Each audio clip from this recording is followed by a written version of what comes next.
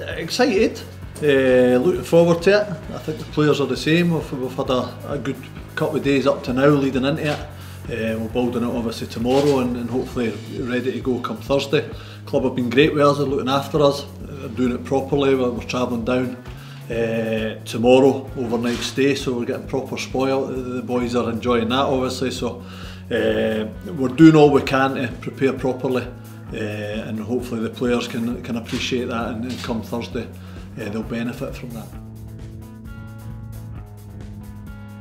It's obviously a prestigious competition uh, in, the, in the development uh, age groups. I think always has been, even going back to many years ago when I played. Uh, I played actually Whitehill Welfare in the competition, and even then it was it was a big competition. You, you always showed a good interest in it uh, at that age group to see who was winning it. So it's, it's certainly prestigious, and uh, like say, for the players' point of view, it's, it's huge for them.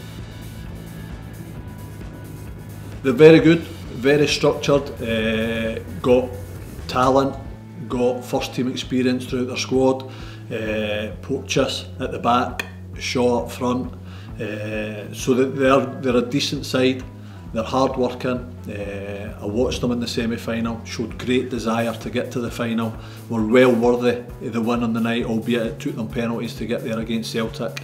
So we know exactly what we face, it won't be easy. I think in fairness, the whole development league, when it's predominantly 20s, most teams are pretty even, so it is a case of go and enjoy the occasion, handle the occasion, and the team that probably handles the occasion the best will come out winners.